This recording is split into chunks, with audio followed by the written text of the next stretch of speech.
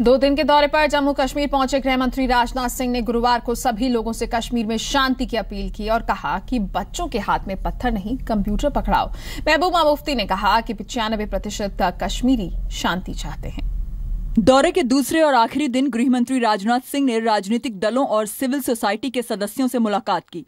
Rajnath Singh CM Mehbooba Mufti से भी मिले।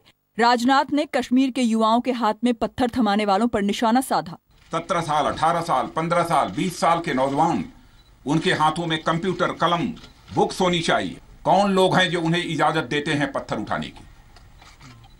क्या उन बच्चों के भविष्य की, को बनाने की गारंटी वह दे सकते हैं? और विद इन फ्यू डेज़ हम लोग इस पेलट गन का एक विकल्प, इसका अल्टरनेट अल्टरनेटिव देंगे।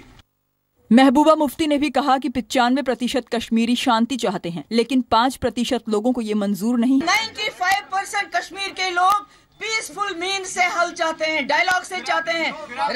मगर पाँच मगर पाँच परसेंट क्योंकि बदकिस्मती से जो मिसक्रेंट्स हैं हमारे बच्चों को शील्ड बना के फौजू कैंपस में हमला करवाते हैं। कांग्रेस ने केंद्र सरकार की पहल का स्वागत किया। कश्मीर के बड़े हिस्से में कर्फ्यू का आज अड़तालीसवां दिन है। घाटी में अभी भी मोबाइल इंटरनेट पर पूरी तरह से पाबंदी है। कई इलाकों में पब्लिक ट्रांसपोर्ट के साथ दुकानें, प्राइवेट ऑफ़िस, स्कूल, कॉलेज और पेट्रोल पंप भी बंद हैं। हिंसा में पैंसठ लोगों की मौत हुई है, दो जवान शहीद हुए हैं, करीब आठ हज़ार लोग घायल हैं। अलगाववादी नेताओं ने कश्मीर में बंद 25 अगस्त से बढ़ाकर 1 सितंबर कर दिया है। ब्यूरो रिपोर्ट के साथ मोहित प्रेम शर्मा, जी मीडिया।